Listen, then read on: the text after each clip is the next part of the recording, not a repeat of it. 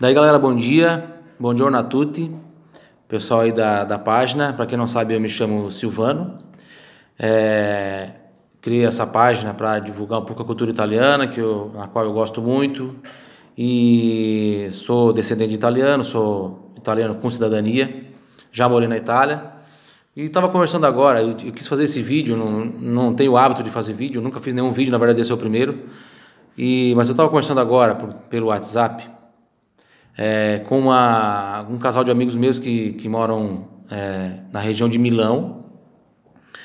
E aí conversando, que eu, eu já tive lá faz uns faz 11 anos que eu morei lá. E eu lembro que eu ia no mercado e uma lata de refrigerante custava 30 centavos. Eu perguntei para ela quanto é que está custando uma lata de refrigerante. A gente começou a falar de preço de coisas e tal. Ela disse que uma lata de refrigerante custa 39 centavos. 39 centavos. Em 11 anos, aumentou 9 centavos apenas. Olha só, uma lata de refrigerante. Aí é, isso me impressionou, eu comecei a perguntar mais preços. Até lá prometi que vou fazer uns vídeos, vai mandar para a gente colocar no canal aqui para vocês ficar por dentro de, de mais preços de mais produtos. Quilo de picanha, 15 euros. Euros, tá? Não convertam para real, porque lá não se ganha real. Quem mora lá ganha em euro.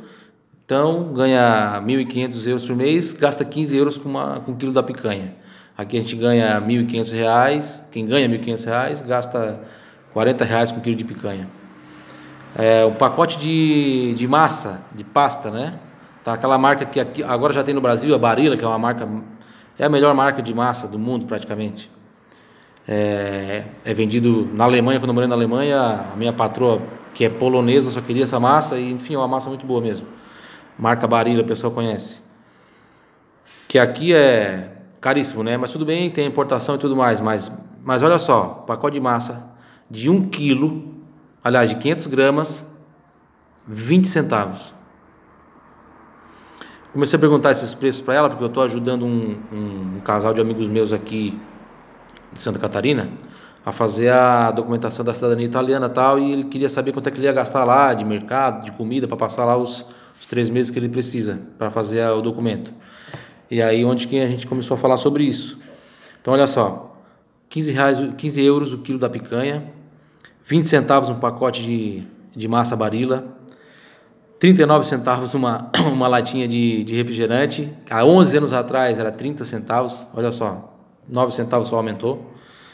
É, aí eu perguntei o leite, quanto é que está o leite? Ela foi falando outras coisas. Um litro de leite, até anotei aqui, 69 centavos. Outra coisa que ela falou bem interessante, que daí eu comecei a conversar com ela sobre a paralisação aí dos caminhoneiros e tal, que aqui no Brasil está tudo parado. E o marido dela lá é trabalha com caminhão, é caminhoneiro, faz entrega, esse meu amigo. E até quero mandar um abraço, um abraço para ele, o Ney e para ela, a Luciana.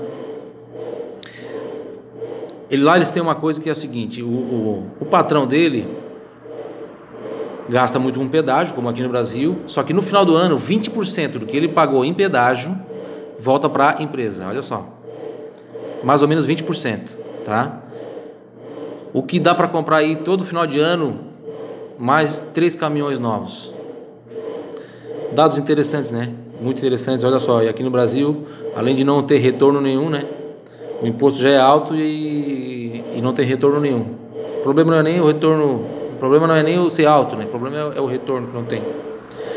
Mas é isso, só queria fazer esse registro e um bom sábado, sábado a tutti, um bom final de semana e, e é isso, pessoal. Um abraço e também quem está me vendo aí na Itália, um abraço e tudo de bom. Valeu?